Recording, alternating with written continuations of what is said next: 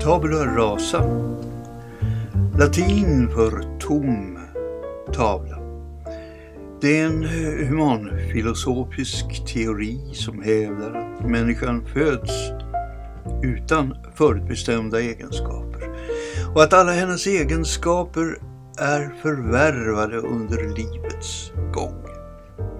Enligt tabula rasa föds barnet som ett oskrivet blad som sedan skrivs under barnets uppväxt. Idén om tabula rasa kan spåras tillbaka till Aristoteles. Idén var även en del i stoikernas filosofi.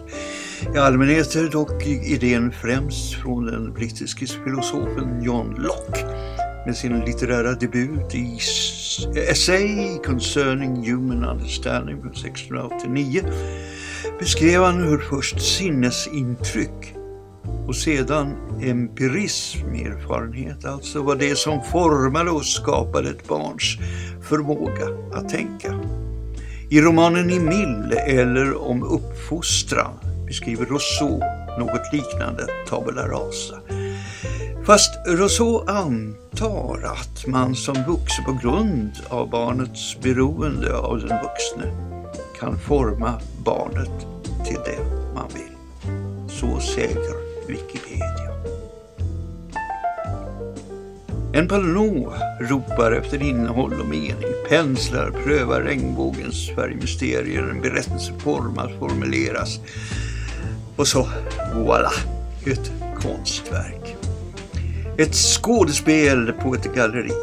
Här exempelvis presenterat av Urban på Galleri Sander, den alltid leende Urban en konstsalong i mitt barndomslandskap i Galleri Sander. Tvärs över gatan så firades jular hos farmor, dignande julbord, trollkarl, årets familjefilmer.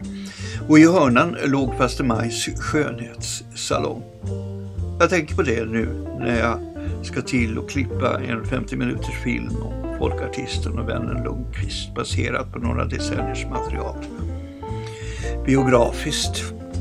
Bland serier, illustrationer, installationer, skulpturer, målningar. Ja, det har tolkats många handla under åren.